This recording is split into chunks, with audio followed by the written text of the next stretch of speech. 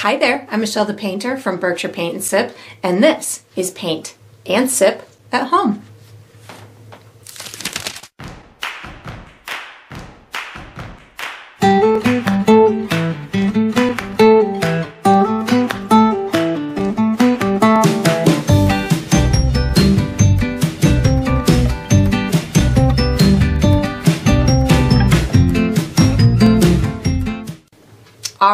Today I'm going to be painting First Snowfall and I'm sipping on some peach tea. And if you enjoy this process, I do hope that you like and subscribe to my channel and that you also check out my Patreon page where you're going to find additional painting perks. So let's get painting and let's get sipping.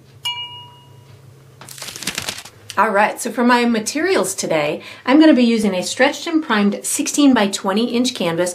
If you're painting along with me, you can certainly switch up the size, but that's what I'll be using. I'm going to be using acrylic paint today. My colors are titanium white, burnt umber, which I like to call brown, fire red, green oxide, cobalt blue, deep yellow, and Mars black. And of course you can certainly switch up those colors if you'd like, but that's what I'll be using.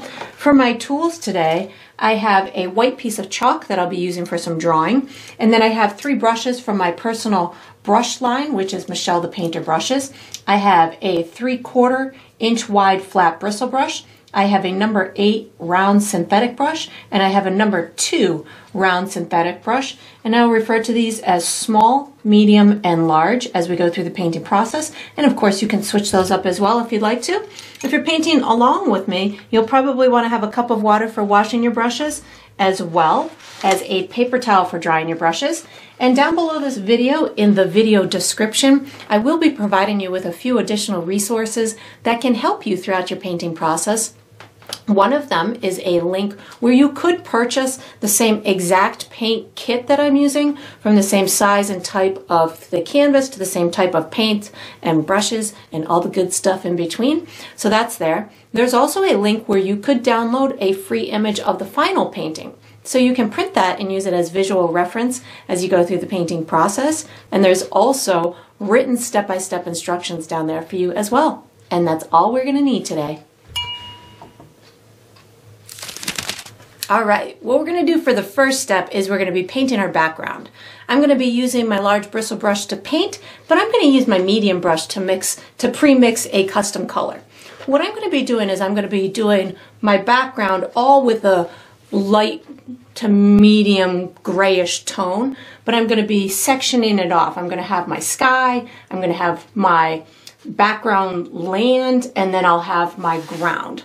I'll be playing with my with a medium gray and white to create some gradients and it'll give us our a wonderful place to start our beautiful snowy landscape autumn snowy landscape. So I'm going to use my medium brush to pre-mix myself my gray color which I have already done. How I got to this was I used a bunch of white about half the amount of white I'll pick with brown and then just a little bit of black and then what I'm going to do, I just spin it together. I'm going for kind of a neutral, nor, um, medium type of gray in order to um, work this as my background. When I think of like a snowy day, I think of a potentially gray sky. So, because it's uh, the snow comes from clouds, so that sky is typically on the grayer side. So that's where I'm starting with that, and then we'll use it as a background for our landscape and our ground as well. So that's where I'm headed. I'm going to put my medium brush away now, and I'm going to take out my large brush. what I'm going to do is I'm going to make myself a couple of markers so we can have uh, so we know when to stop the sky, when to stop the um, forest area, and then where to begin the ground. So I'm going to find myself about halfway on up or down this left hand side. I'm going to come below that about an inch, make myself a mark, a mark, and then above it about an inch and a half to two inches, make myself a mark. And then I'm going to come over to the right side about halfway up or down.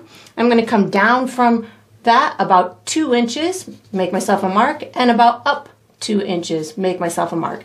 These will just be our stopping points for the sky versus the land, the um, background trees versus the ground. So I'm going to pick up more of my gray. I'm going to start up at the top of my sky using a left to right type of brush stroke. You could certainly use any kind of brush stroke that you want. If you want to use circles, use circles, but I would recommend just kind of keeping in each section, just keep a consistent brush stroke. So if you decide to, on the sky, use a left to right, then use the left to right through the whole sky. If when you get to the land, you do a circular, then do that throughout the whole land. It just keeps for a harmonious type of um, area in the in the painting. Now what I'm going to do is I'm going to pick up white on my dirty brush plus a little bit of my gray. So white and gray. I want my sky to go a little bit lighter as it's going down reaching that landscape area. You can make it go as light as you want, but I don't recommend going all the way white because we are going to have our snow on top of it and you want the snow to be evident. So if you make this background sky all white, then you won't be able to see the snow coming down from the sky. So I'm just making it kind of a lighter version as it's going down towards the, um, the, the landscape that we're going to be putting in in a second. And again, just kind of using my left to right brush stroke to get this to uh, blend in with each other. It's looking pretty good.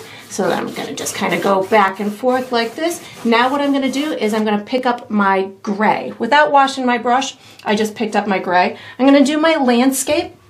I'm gonna start it at the bottom, just kind of connecting these two guys in through here with a uneven kind of line. You could really make it straight if you want. I just want it to look like we've got a little bit of maybe a hill or some kind of um, landscape for the ground that's not super straight.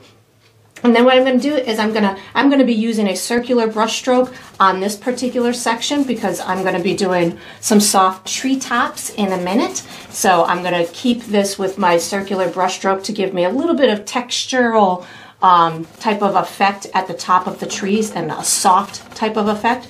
So now that I've got it in through here, I'm just going to go up to my my sky and then I'm going to pop up a couple of out of focus type of treetops. So I don't need a lot of paint to do this.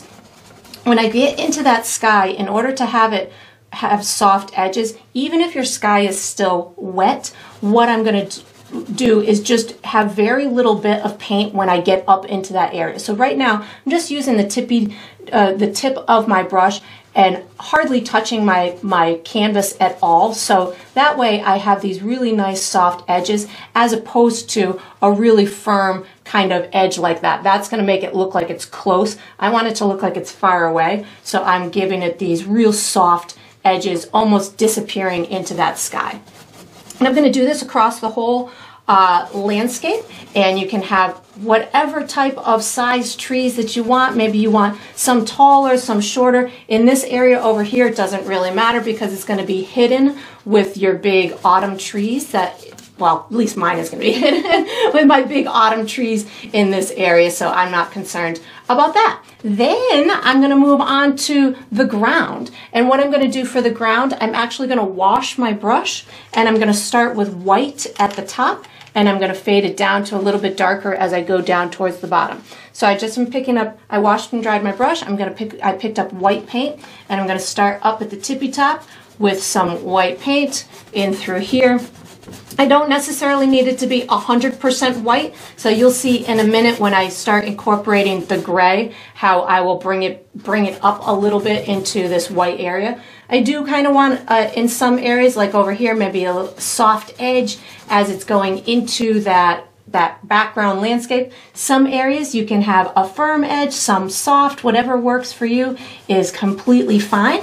And now as I'm working my way down this landscape, I'm gonna pick up a little bit of gray and white. So I'm gonna get this to go a little bit darker as it comes down towards the bottom of that landscape. So this is gonna give me a great depth perception in this piece of land. I'm kind of staying up at the top with white and just a teeny bit of gray right now and as I work my way down towards the bottom and you can see I'm using a left to right type of brush stroke as I work my way down towards the bottom I'm picking up more gray so it goes a little bit darker you don't have to go as dark as your um, your tree line in through there but if you want to bring it a little bit darker that's going to help to give um, some great perspective on it and it's going to allow the, again, the snow that we're going to put on in a minute or later the falling snow, it'll allow that to be much more visible. And then I'm just, again, going back and forth. I'm creating a nice, soft kind of maybe a, a meadow type of field or something that this young person is enjoying the snow, the fresh snowfall. But you could certainly make yours more hilly or maybe put a path on it or whatever is exciting you as the painter, you can certainly emulate. And then we're going to be using this same brush for the next step. So once you've got this done, you can wash and dry this large brush and get ready for the next step. All right, so what we're gonna do for the next step is we're gonna finish the tree tops on our distant trees. I'm gonna be using my large bristle brush. The colors that I'm gonna use are green, brown, red, yellow, and possibly some of that gray as well if I feel like I need to counteract anything that I do Gray is going to be my safe color. what I'd like to do is just make these really out of focus, soft, uh, the illusion of trees that have maybe some of them have autumn colors on them maybe some of them have already lost all of their leaves so we'll see a lot of the gray. So you can really play with this as much as you want. What I don't want to do is make them so vibrant in color that they're going to take away from my focal point which is going to be the the two larger trees that I'm going to put over here as well as my young person. So I really just want them to look off in the distance. So I'm going to be using my large brush and I'm going to be using very little bit of paint. And I'm going to be using a combination of a stippling type of effect and a scrubbing or scumbling type of effect, which is going to be these uh, short kind of circular type of motion. But I'm not going to have a lot of paint on my brush. I'm going to start with a teeny bit of green and, and brown on my brush. So I have a little bit of both colors. And what I'm going to do is I'm going to tap it off on my paper towel. This is just going to ensure that I don't have a lot on my brush. And then I'm just going to start add in these real soft kind of illusions of treetops. And in my head, I think that treetops kind of have a rounder or generic um, roundness to the top of them. So as I'm going through this, I kind of think, okay, well, if I want a treetop in through here, maybe I just give the illusion of a round type of um, appearance. And then, uh, you know, you can just sprinkle this in wherever you want to. I don't necessarily want to do it too too much too low in the forest because I'm going to have some tree trunks and stuff, but you could certainly bring some of this color down a little bit. Um, and then just while I have that color on my brush, I just kind of bring it throughout other areas in that forest um, that I want that color to be represented. And I hardly have any paint on my brush. Now I'm going to pick up a tiny bit of red and brown. And I'm using the red or the brown to make this more of a softer muted color to emulate it being off in the distance. You could use blue, you could use your gray, you could use anything that you want, but I'm going to, I start with just using the, the brown to help me out. So I have a little bit of red and brown on my brush. I did not wash my brush, so I might have the evidence of a little bit of the green still on there, which feeds my painterly eye and allows me to get these colors to intermingle and for me makes it look a little bit more natural when I get some of these colors to start talking together which works on my brush. And I also know that I am going to be doing a um, a layer of fallen snow later on. So if I'm going through this process and I feel like I did too much or not enough, I'm going to be able to disguise it with snow later on, so I'm not terribly concerned about making this really perfect. Now, without washing my brush, I'm going to pick up a teeny bit of yellow. Oops, I just accidentally put blue on my brush, so I have to wash my brush because I don't want blue in my in my trees. So I'm washing my brush so I can have some clean yellow on there and a tiny bit of brown as well. So a little bit of yellow and brown. I might put a little bit of red back on there in a second so I can get maybe some orange tones. I would have had a little red on my brush if it weren't for me putting blue on there accidentally, but I'm just kind of sprinkling in a little bit of this yellow. That was a bit aggressive, but again, I can certainly hide it with a little bit of snow later on. That's looking pretty good. I'm gonna pick up a tiny bit of red right now on my dirty brush so I can have that red and yellow kind of talking together. Maybe put giving me a couple of orange tones here and there. And I'm thinking that that's pretty good. I don't, re again, need to do a whole heck of a lot for this background area. I am going to be um, putting some little trees on the tree trunks in a minute. I just picked up a tiny bit more green to get this little area in through here. If you felt that you wanted more detail, you could certainly start, um, you know, adding a little bit more vibrant in the colors. But again, I just want mine to be really uh, set off in the distance. So I'm not looking for a whole bunch of detail in mine. Um, and then I am going to be using my medium brush for the next step. So once you've got this forest all with its nice soft colors in it, you can uh, put your large brush away, take out your medium brush, and get ready for the next step. All right, so what we're gonna do for the next step is we're gonna be painting some tree trunks and branches. I'm gonna be using my medium brush. The colors that I'm gonna use are black, brown, and white. And I'm gonna be putting tree trunks and branches in two specific areas.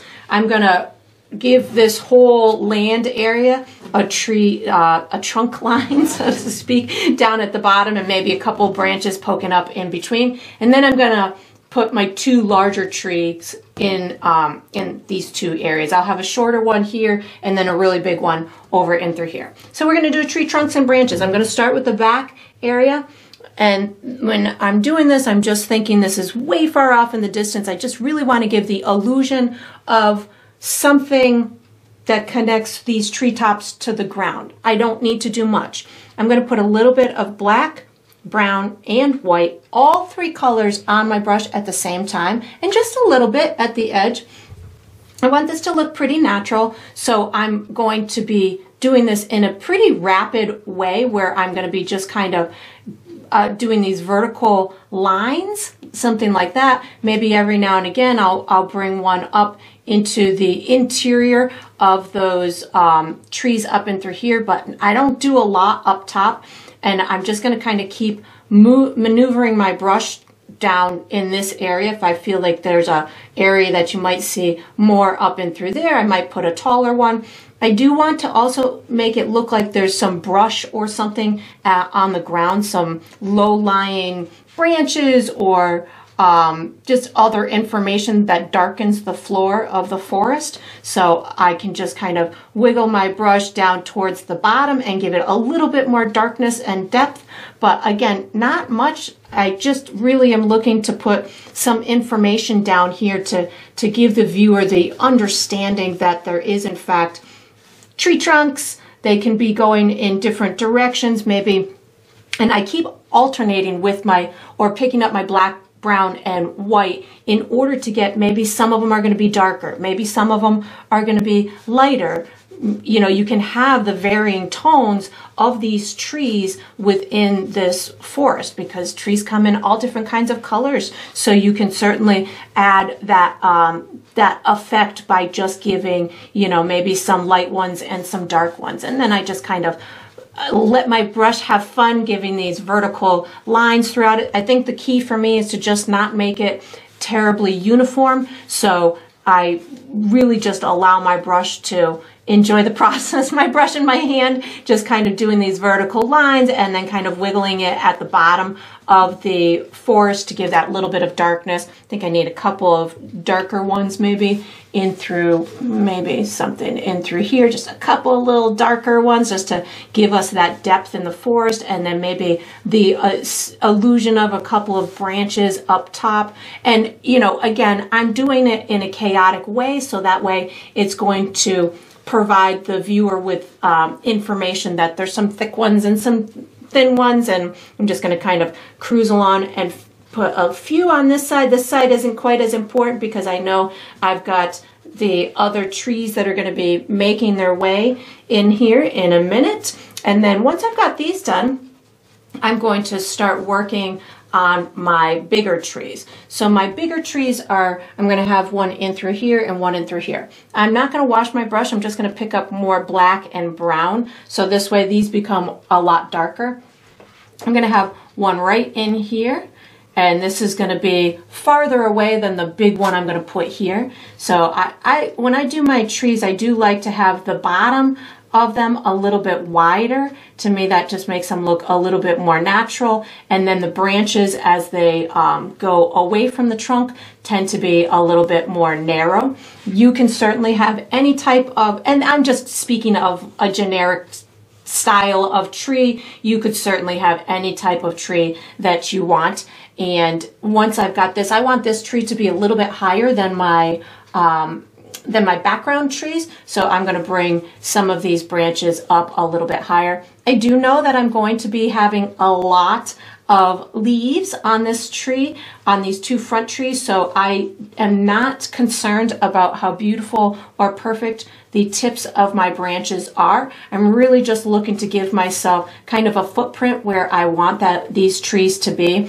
Um, more concerned about the bottom of the tree being more perfect than the top of the tree, but that's um, going to be a preference on your part, how extensive you want these um, little trees to be. We have snow and leaves, which are going to um, enable us to um, hide or make the skies imperfect branches. I'm going to go ahead and make myself a really big one in through here. So again, just loading my brush with black and brown. This one's going to be pretty darn wide. I'm going to have it almost maybe about two inches wide at the base of it and then it's going to of course get more narrow at the bottom we are going to be finessing that a little bit with snow and leaves and stuff so I'm not terribly concerned about that being perfect again um, I'm going to put maybe a, a good sized branch coming off in this direction and then maybe a really tall one kind of coming up in through here, giving myself a real solid type of trunk to the tree. And then I'll just branch off of this big center one. And again, I'm using a combination of um, brown and black on my brush at all times. So this way I get some lighter branches that have a little bit of the brownish hue and then I'll get some darker um, areas that will have more of like shadow type of look to them. So you could certainly attack this in a couple of different ways. You could uh, you could have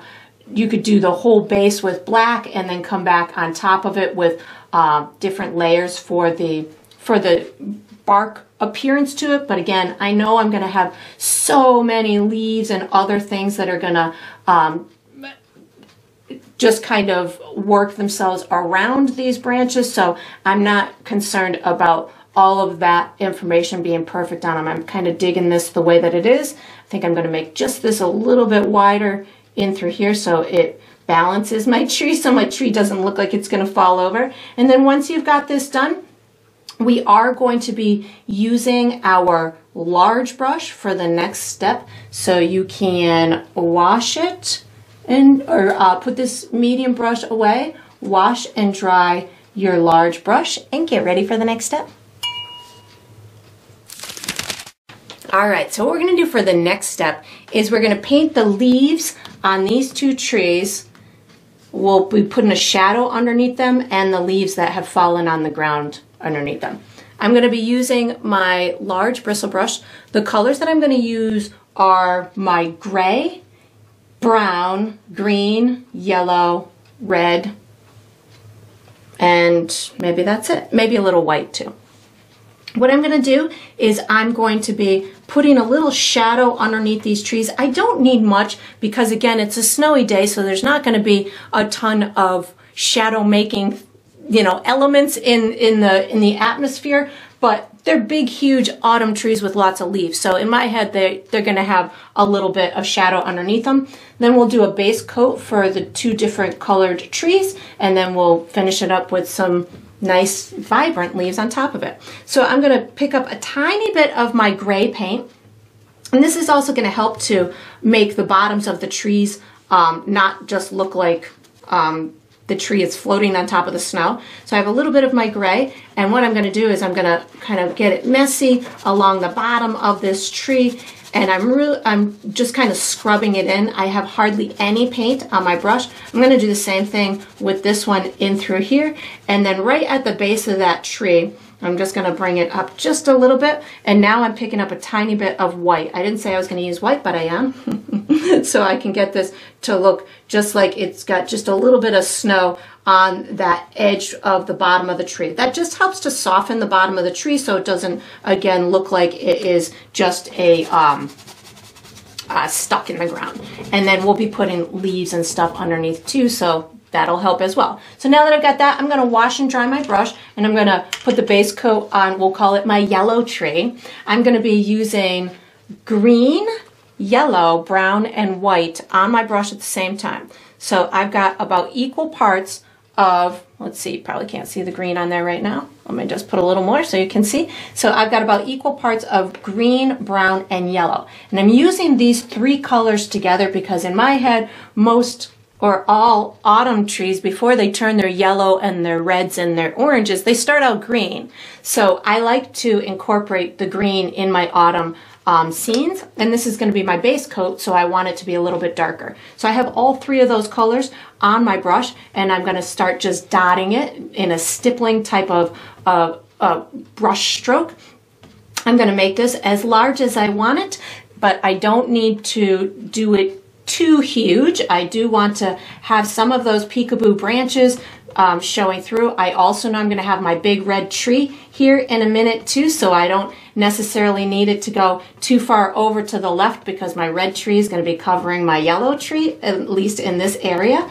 But I still want to have those um, branches kind of showing through, so um, or the leaves kind of showing through behind there too. So that's looking pretty good to me on this one. I'm kind of dotting it so that my paint isn't too thick and will dry on the quicker side. So that's looking pretty good. Now I'm going to wash and dry my brush. I'm going to put my, my base coat for my um, red tree.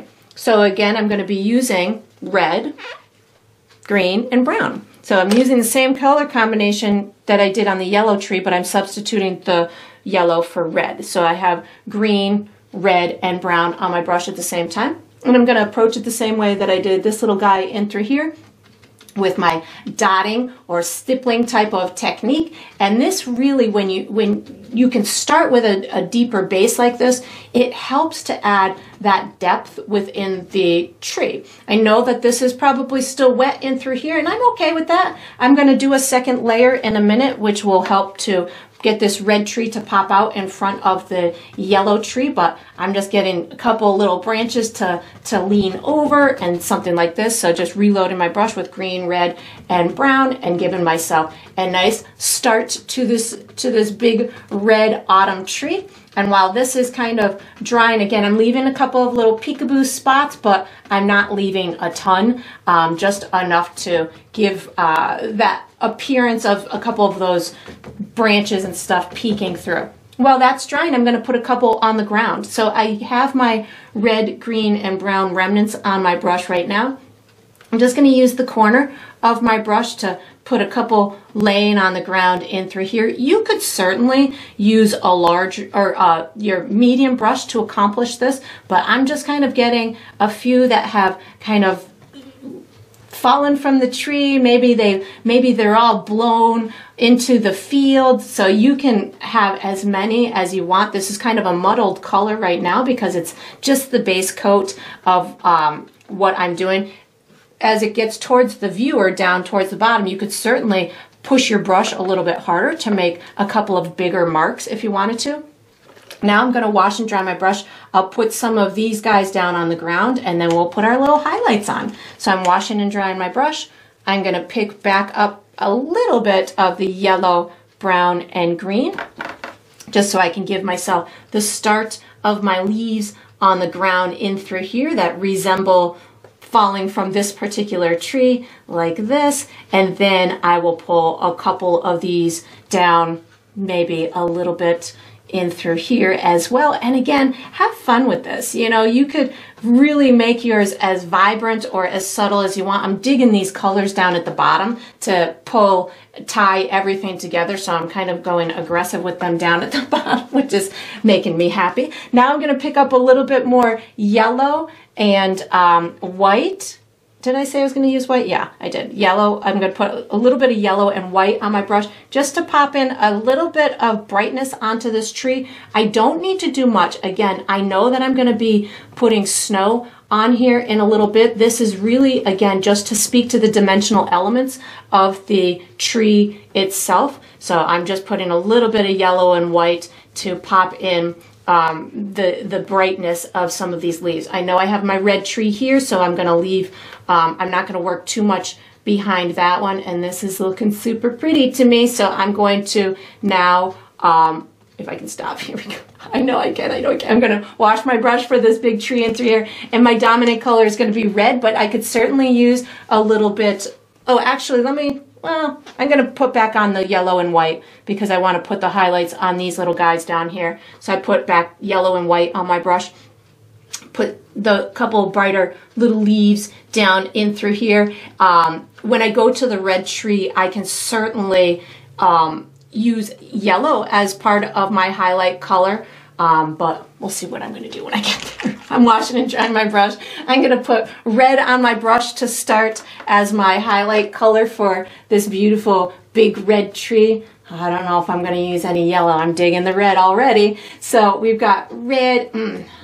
Sometimes I just love it when I just put that second coat, making it all speak to me. I think I might use a little bit of yellow, but let me just put this red on first so I can see where I want it to go. And I'm just kind of, I'm not overdoing it. I'm not painting over all of those dark marks. I am going to pick up a little bit of um, yellow with my red. So this way I've got almost like an orangey type of a tone that I'm going to incorporate. Yeah, there we go. Incorporate in some of this red. So that way it looks like I've got there we go. Now, now, now it's talking to me. and then I'm going to put a little bit of this on the ground. I'm not going to wash my brush. I'm just going to pop in a couple of little tiny marks down in through here. Maybe, maybe a couple have fallen over in this area, picking up a little bit more red paint just to give myself a couple little red dots. And again, if you overdo it on the ground, don't worry. We've got snow that'll help to cover this. This is just, or to um, disguise some of these pieces. This is again, just to kind of get us going in the fall trees. And then we're going to be using our piece of chalk for the next step. So once you've got your beautiful fall trees all nice and finished, you can uh, put this large brush away, take out your piece of chalk, and get ready for the next step.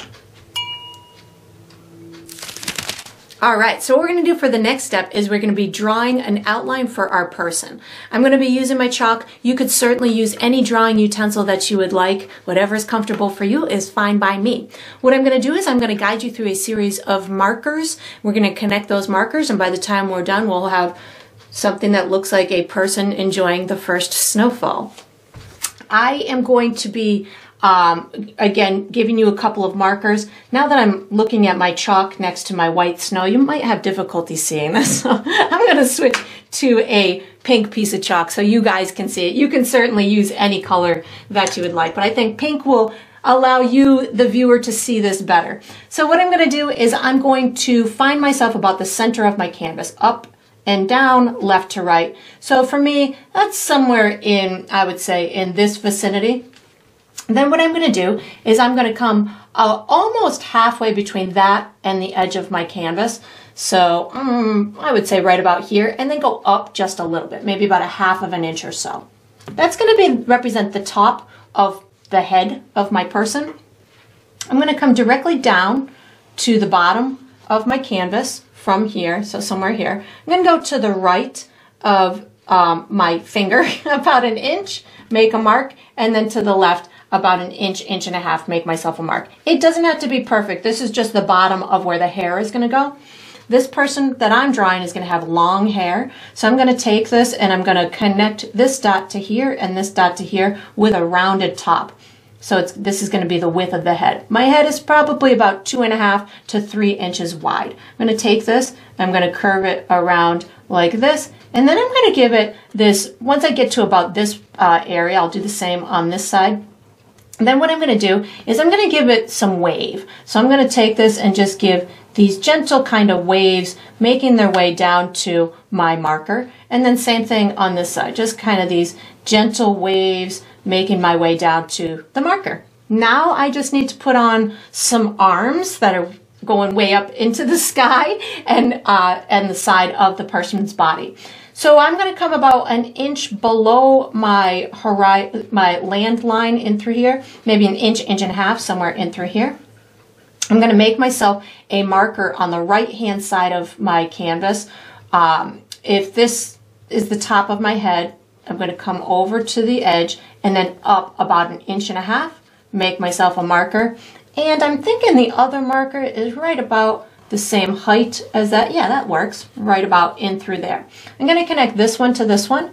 And this does not have to be anything perfect at this point because this is just acting as a guide for us to paint. Down on the bottom right hand side, I'm going to come to the right of my hair about a half of an inch to three quarters of an inch. I'm going to connect here to here. What this is going to do is this is going to be the underside of the arm and then it's going to be the side of the body. So I'm going to take it from here. I'm going to just bring it down in kind of a diagonal way in through here and then bring it down the side of the body. I'm going to do the same thing on the left hand side. So you can just kind of come directly across from here, give yourself a marker, and then however high this, well, these two could be, I guess, different heights, but I'm going to be about in the center of my canvas and about the same height as that, give or take a little bit. and then this one I've got um, the, we're going to see the hand kind of waiting and catching snow. So I'm going to come down from this diagonally about an inch, inch and a half. I would say somewhere in through here. This is going to get connected to here and I'll make another mark down here. I'm going to go about an inch away from this one to the left. So I'm going to connect here to here and then I'll connect here, bring it up, and then give it this little bit of a diagonal in through there. I'm going to connect here to here, and then I'm going to give myself just the essence of a little hand. I'm just going to do, that's going to be the thumb, and this will be the underside of the hand. Again, we'll be painting this in. It'll look a little bit better, a little bit. It'll look a lot of bit better by the time we're done. This is going to be the sleeve wrapped around here. And then we're going to use our medium brush for the next step. So once you've got this done, make any adjustments that you want. Then you can take out your medium brush and get ready for the next step. All right, so what we're gonna do for the next step is we're gonna paint the base coat for our person. I'm gonna be using my medium brush. The colors that I'm gonna use are brown, blue, red, yellow, and white. And what I'm gonna do is I'm gonna pre-mix myself a skin tone that we'll use for the little hand. We're gonna have a custom teal type of a color for the sweater, and then we're going to use brown for the hair. I'm going to create my two custom colors first, and then we'll go ahead and make our base coats. So of course I've magically done it before so you can see where I'm headed. That's going to be my skin tone right there. How I got to that was about equal parts of yellow, red, brown, and white. And then I just spin it together.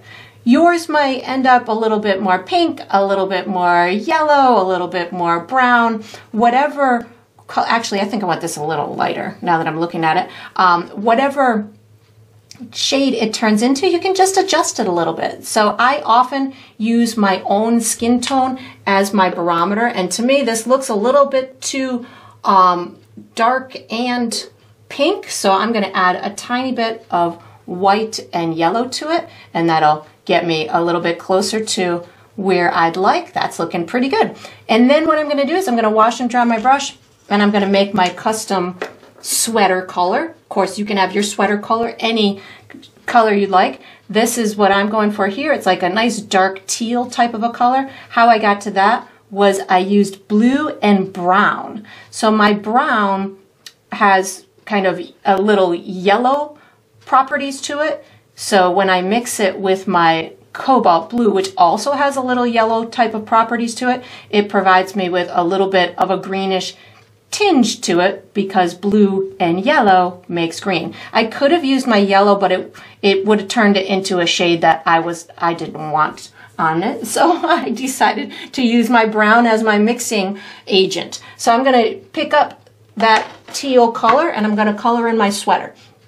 I want this to look like a fluffy kind of sweater, so I'm not going to do a clean brush stroke. I'm going to kind of just tap my brush and allow for the edges of my sweater to be bumpy. And this way, when I go to uh, add some highlights and shadows on it, it will have a more natural kind of sweater type of texture. Because I know a lot of my sweaters that I wear are fluffy with the yarn or whatever they're made up of. You may be able to see through your paint at this point because we did not use any white in the um, in the mixing process white paint would allow for the opacity on this to be a bit higher, but because I did not use white paint um, in my mixing uh, formula, you may see some, you might be able to see through it, but that's going to allow for this to look a little bit more textured. So I'm going to go ahead and do this side as well. I do have this little area around the hand, so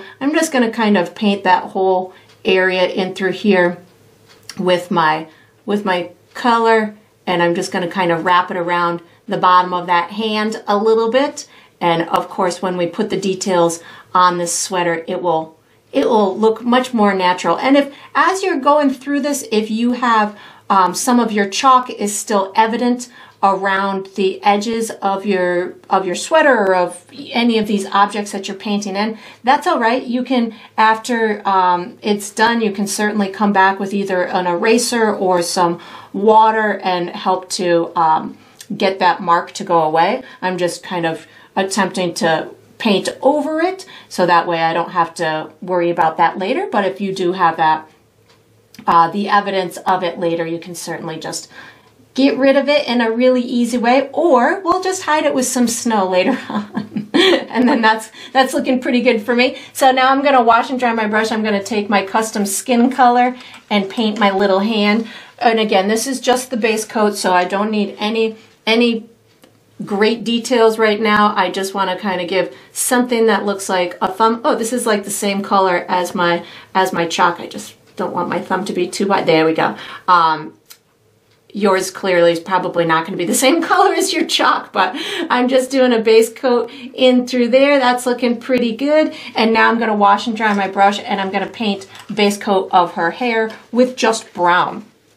Of course, you could customize this hair as much as you want. I'm going to have her with like a chestnutty orange type of um, colored hair. You could have yours with black hair or blonde hair, whatever works for you. I do like to use a darker base coat when I'm doing hair, so I want her hair to be a little bit lighter and richer in tone by the time I'm done. So I'm going for this brown base uh, to help me along. So it'll look nice and textured and I'll get some good dimension in it as I build um, the layers of her hair. And I don't really need to do much. I'm just kind of bringing it down in a downward type of brush stroke. Again, I know I'm going to be able to see through some of it, which is fine. I'm going to bring it right up along my sweater. And if some of my sweater is still wet as I bump into it, that's all right. Because again, we've got lots of lots of other elements that we're going to be putting on top of this. And then once you've got this done, we're going to be using our small brush for the next step. So you can put this large brush away, take out your small brush, and get ready for the next step. All right, so what we're gonna do for the next step is we're gonna finish her little hand. I'm gonna be using my small brush. The colors that I'm gonna use are um, black, brown, skin, tone and white. And what I'm going to do is I'm going to put a little shadow on the bottom side of her hand, the bottom side of her thumb. I'll make sure that it blends in with the skin tone and then I'm going to put a, um, a little highlight on the top side. I'm also going to put a tiny little shadow inside this little part of the sleeve as well so we can have that, um, that dimensional element there. So I'm going to start with a tiny bit of black paint on my brush and I'm going to put this little um, sleeve shadow on. Going to do that first just so I have that taken care of and I don't have to think about that. Now I'm going to uh, wipe, whoops, wipe my brush off and pick up brown paint and I'm going to get this dark side of um, the bottom of her hand. So this is brown and I just really want to have um, a little shadowed part on the bottom of this hand just so we have that dimensional element to it. I don't need to do much right now. I'm picking up more of, uh, I'm picking up my skin tone on my dirty brush so I can get that shadowy side to blend kind of up the, the edge of this hand.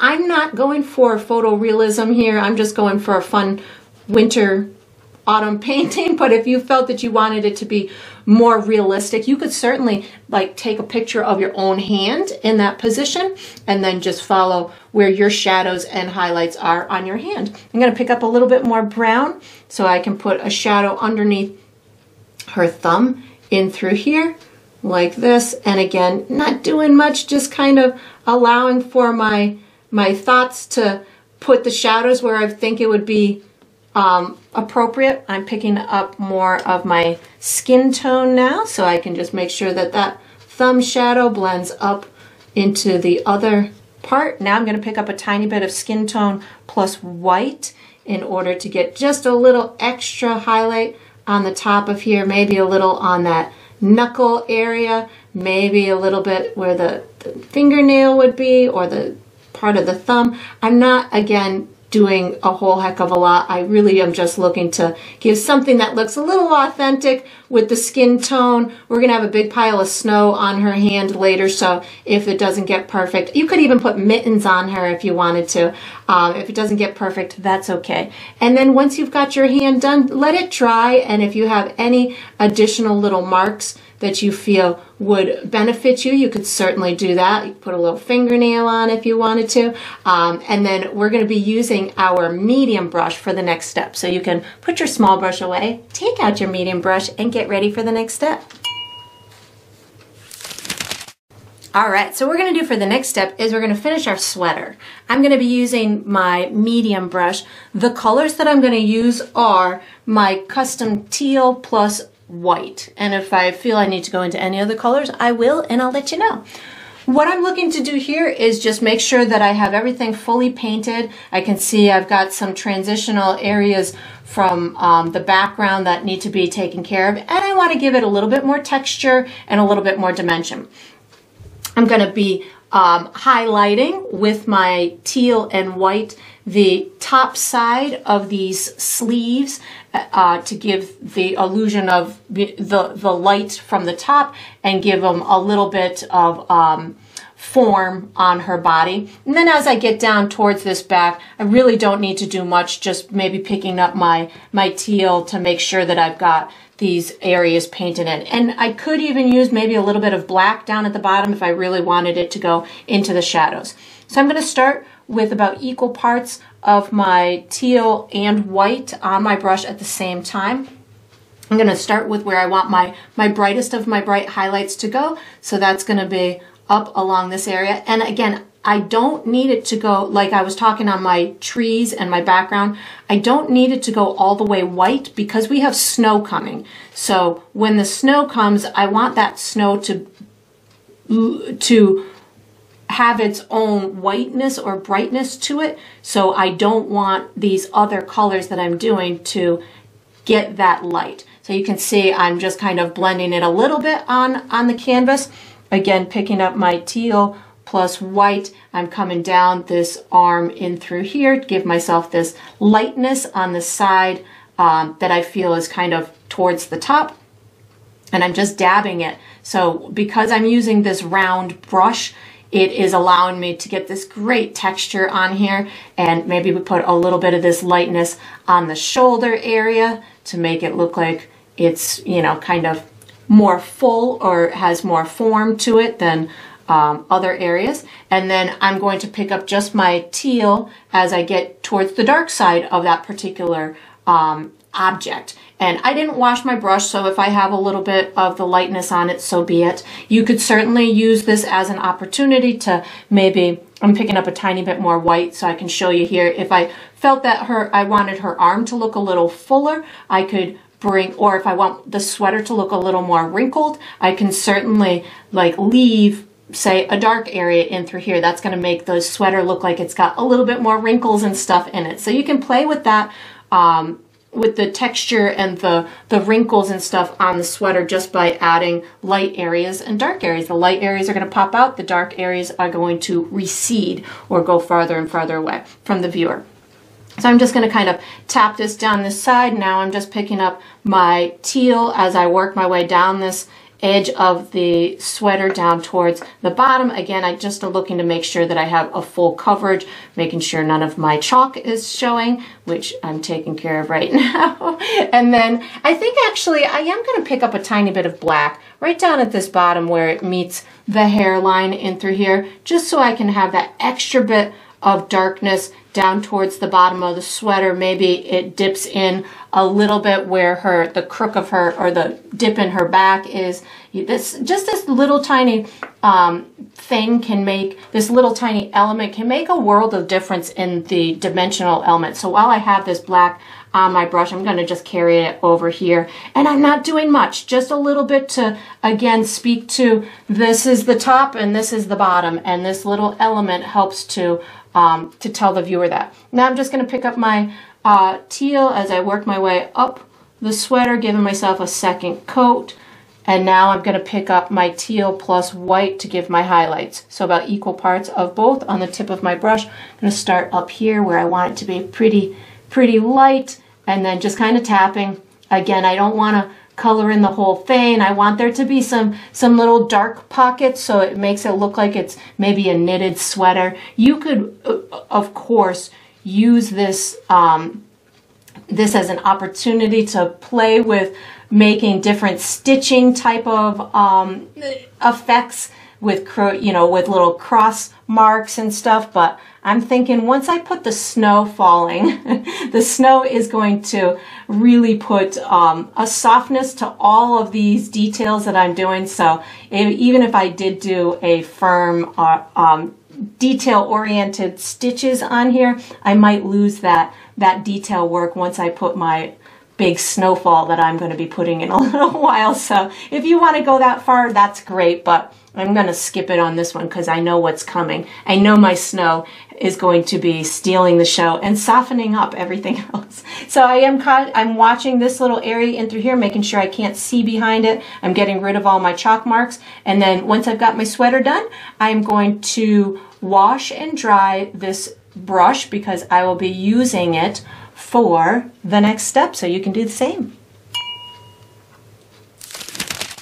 All right, so what we're gonna do for the next step is we're gonna finish her hair. I'm gonna be using my medium brush.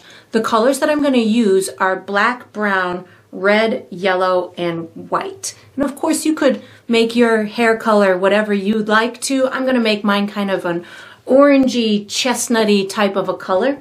How I'm gonna do this is I'm going to be using this brown as a base coat and then I'm going to be adding a couple of different progressive layers getting it lighter. I do want a specific area to have a little bit of a shadow, which is going to be right in through here. That's going to tell the viewer that her head is kind of tipped back and almost looking up at the sky. So I'm going to do that first. I'm going to put a tiny bit of black paint on my brush and right above or at the bottom of where her head would be and right above where her her shoulders are, I'm going to take a little bit of black paint and I'm just going to kind of gently rub it in and maybe up a little bit. Again, this is going to help the viewer understand what's happening with her head, that her head is kind of tipped back and it's creating a little bit of a shadow underneath that, um, that hair. You could also, if you wanted to, put a tiny bit down at the bottom. I'm just using the remnants from my brush to put a tiny bit down at the bottom. Now what I'm going to do while that's settling, I'm going to wash and dry my brush and I'm going to create my custom uh, color that I'll be using for a highlight. Of course, I have magically done it off camera so you can see where I'm headed. So this is a pretty orangey red type of a color, but when I add it on top of that brown, it's going to provide a beautiful um, auburn type of chestnut color. How I got to this was I used red, yellow, brown, and a touch of white. So it's the same combination that I of colors that I use for my skin tone, only I'm going to hardly use any white, just a teeny tiny bit of white, and I have more red and yellow in the combination. And what this is going to do is it's going to create this dark, rich, kind of orangey red type of a color. This is where I'm headed. Again, you could make yours whatever color that you would like. You'll see how it acts on top of my brown, and then you can certainly make a decision if you want to make a, a different color. After I get this on, I will be adding additional highlights, so you'll see how that works. So I've got my custom hair color on, and what I'm going to do is I'm going to be painting it in a directional type of uh, brush stroke creating the illusion of the shape of the head. So I've got it kind of from the center of the head and I'm just kind of pulling it to the right and to the left. And I will, when I do my highlights, they will help to hide the um, any visible evidence of that background. So I'm not concerned about that as of yet. I can even, because I know I didn't use a lot of white in my um, equation, I can put it right over this shadowy area a little bit and you'll still be able to detect that shadow underneath. So you still have the evidence of that illusion of the head being tipped back.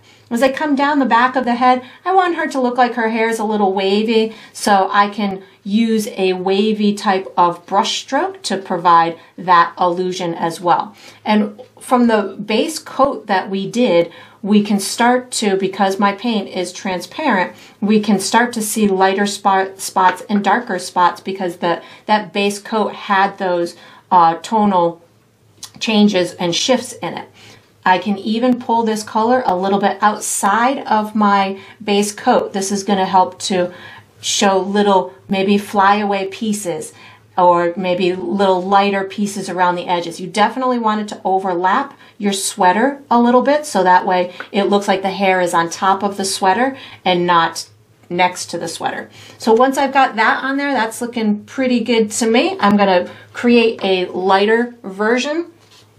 I'm not washing my brush. I'm just to pick up some yellow and add white to it. So this is to be a very light yellow type of a color that's going to be my highlight color for my hair. So, whoops, I just had a little bit of brown in there as well, which will work out just fine. Any light version will work. I didn't wash my brush and my hair color is still a little wet. So now what I'm gonna do is I'm just gonna provide these additional bright highlights to it. I will in a second um, pick up my base color as well. You can make this as dominant as you want. I'm picking up my uh, rust color right now to just get this to blend in just a little bit more so it's not too too vibrant and I'm putting it brighter on this left hand side. I'm going to put a little bit on the right hand side but not much and if you feel that you went too bold with your highlight you can always again counteract it with whatever we used for the base coat. So we used brown for the base coat. So if you're going through this and saying, oh, I made that too light or too bright, just bring back some of that brown or wait till we do snow and disguise so you can, you know, snow is awesome. I love doing winter paintings because it's one of those things that it's like, oh, if I did something that I, I wasn't terribly fond of, I'll just put a little snow on it. And it's just a really fun, fun process to, to go through. And I'm adding a little bit down here in the back just so we can see maybe the direction of the hair. I'm picking up a little bit of my rust and brown right now just so I can get maybe a little bit darker version but not um, not terribly darker in this back area. And again, if you if you you know want to continue to go darker, just keep picking up that that brown. I'm gonna now pick up uh, my highlight color again just to get a couple more tweaks. I'm actually picking up a tiny bit of white as well just to get just a itty bitty bit of additional brightness where the head I feel rounds the most. And then I'm to let it dry and if I feel I want to do any other tweaks I certainly will. But I'm thinking that this is looking pretty good right now. So we are going to be using our large brush for the next step. So once you've got your hair done you can um, put this medium brush away take out your large brush and get ready for the next step. All right, so what we're gonna do for the next step is we're gonna let it snow, let it snow, let it snow. it's probably one of my favorite parts of winter paintings is putting the snow on it, putting the falling snow. So what I'm gonna do, I'm gonna use my large bristle brush. I'm gonna be using a combination of the gray color that we created and white. Because I want to, I don't wanna just go white first and have everything a big whiteout. I want to I want it to look like it's got some dimension, so I've got to kind of progressively get to that bright white fluffy stuff. I want to have some snow in some strategic places, which I will be doing first, which is a little pile in her hand. I want some nice snow kind of resting on her head. I want to make sure that I hit um, the the ground the way that I want to. Maybe a little bit on these back treetops and then we'll, and maybe a little bit sitting on these trees, and then we'll let it snow everywhere. What I'm going to do first is I'm going to be picking up um, a little bit of white and my gray. So when I say a little bit, I'm talking just a tiny bit on the edge of the brush, the, the tip of the brush, and then I'm going to just tap it off on my paper towel. I just don't want to overdo it. I, I like to proceed with caution. I'm going to be putting some on her head, something like this, and again, you can be as aggressive as you want. I'm being non-aggressive, but I want there to look like, you know, maybe she's been out here for a little while. So she, she wants, you know, she's got these layers of, of snow on her head. Maybe she's got some on her sleeves somewhere in through here. I'll put the white in a minute, but just kind of tackling the, the um, first part, I'm going to put some in her hand. Maybe she's just, you know, had it up there for a while and it's a nice pile. I'm going to put a little bit on these, I'm just reloading my brush so I have some, oops, I just picked up a little bit of blue. I'm going to just use it, I guess. you don't need to if you don't want to, but uh, you could put a little bit of blue in your gray and white mixture, whatever works for you. I'm to just kind of pop in a couple little bright spots on these back trees. And again, nothing much, just something that's to look a little bit different than the falling snow itself. So it looks like maybe there's a couple of trees back here that have uh, the accumulation on the tips of them. Maybe I put a little bit in the tops of this these trees over in through here. So maybe just little piles here and there, nothing much, but something that's going to say, oh, okay, this is a pile of snow sitting here as opposed to um, falling in front. You could get, again, as aggressive as you want with it. I'm just going to kind of put a couple little piles in here, especially towards the top of the tree. I think that's where that's where the snow would sit first. So something like that works out just fine for me. And again, this is the gray plus white, so it's not all the way white yet. And again, just picking up a little bit more of that color combination, making sure that I've got, well, down here, I guess I need a little bit more white because it's gray down here. So just putting a little bit on these leaves, making sure that I've got a little bit of dimensional element in through here. And then once I've got um, those, well, that was not what I intended. Once I've got that in there, I'm going to put a little bit of white on her head as well. So I'm picking up just white on my dirty brush and I'm just going to kind of tap it in right at the tippy top of her head, maybe a little bit kind of coming down the back side and I, again, hardly have any paint on my brush. I don't, I, just am cautious about not overdoing it because I want to show the, that detail underneath that we worked so hard at. You know, maybe there's a little bit that's piled up on her shoulder in through here. And again, it's going to snow in front of her head as well, but this is just kind of a little extra to say that it's maybe sitting on top of her head. Now I'm going to let it snow everywhere. So I'm going to pick up white paint and I'm picking up more this time. So I have quite a bit of white paint on my brush and oh wait before I do that hold on I want to put her hand. I'm going to just wipe that off and very little bit just finishing the pile in her hand before I go further. So again, it was just white paint, but I wanted to finish the little pile in her hand before I know I'm going to get wild and crazy when it comes to all the rest of the snow. There we go. So now I'm going to pick up a higher quantity of white paint. I really, in my a lot of my snow paintings, like the exterior to be almost like a border. So I'm going to be applying my, my snow in a dotting technique, but I'm going to put it really heavy around the exterior border and get it to um, be more faint as it's coming into the scenery. So this almost to me kind of makes it look like a, I don't know, like a Christmas card, like an old nostalgic kind of card of sorts, a holiday uh, greeting card with that nice bright border around the exterior. I'm going to So I'm going to work my way from the outside into the painting. So I just keep reloading with white paint at this point.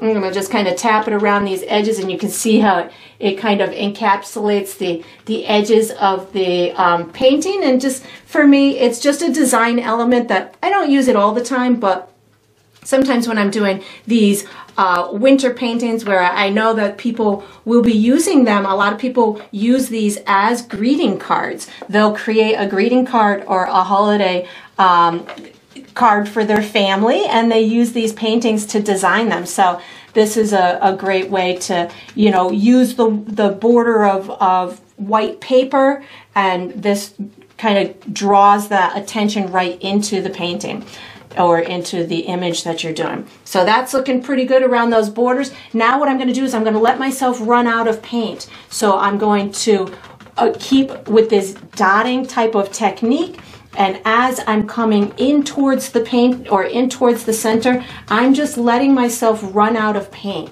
What's going to happen is it's going to look like a blizzard of sorts, but a nice, a nice early wintry blizzard um, where I've got a lot of the dotting and it's going to show like a million little pieces, but because I'm letting myself run out of paint, it's becoming more transparent and translucent and it's allowing for it to look softer and fainter and I'm going to be putting it in front of everything. I am just about out of paint now, so when I reload my brush, I'm, I don't want a lot in the middle, so I will start again on those edges and then work my way in. So again, this is going to allow me to naturally just kind of run out of paint, and then when I feel that I'm, I'm pretty out of paint, then I can start working on that center area. And again, it's just allowing me to use the this bristle brush to its benefit to you know to its fullest extent of what it, the capabilities it has it's allowing me to add these thousands of little tiny dot marks which instead of you could flick the snow with a brush you could sit painstakingly with a smaller brush and do every little individual dot but with these bristle brushes that it it allows it to look fluffy and like there's a thousand little snowflakes flying out in the sky. So I love using them for this type of effect. Um, it just provides me with an easy way to, to do snow. And as I am coming into these center areas, the snow is going to fall in front of everything. So I'm just making sure that I don't forget stuff like in front of the tree. I feel like I have too much paint on my brush. I'm just going to wipe it off on my paper towel. In front of the tree, I definitely want there to look like there's snow in front of everything because when you're out in out in life out in a snowstorm it doesn't just fall in front of the girl. It's going to fall in front of everything. So i'm going to just make sure that i create that effect and then once i'm done i again will just let it dry see if there's any other um, places that i want to add this white fluffy stuff. And then we have one last little step to go, just making sure I've got, maybe put a little, I just put up a little bit more white, maybe put a little bit more on some of these pieces of leaves in here. Maybe there's little piles of the bright stuff on top of those. And you just kind of keep, this is what I do. I'll just keep adjusting it. If I feel I want to add some brighter stuff, I do. If I want to back it off, I can put some gray on top of it. So you just have fun with this. And then we're going to use our small brush for the next step. So you can put this large brush away, take out your small brush, and get ready for the next step. All right, so we are on to the final step. This is the final step of every painting, which is to sign it. So I typically sign mine in the bottom left or the bottom right. I'm gonna be using my small brush. I think I'm gonna go bottom left on this one with white paint. I like to sign mine with my initials, but you could certainly sign yours with your first name or the date or a symbol or whatever you would like for your identifying mark to be is up to you because it's your painting and you get to sign it however you would like. And that's going to conclude this painting. I hope you enjoyed the process. I hope you painted yourself a really fun late autumn, early winter inspired image. And I look forward to painting and sipping with you again sometime.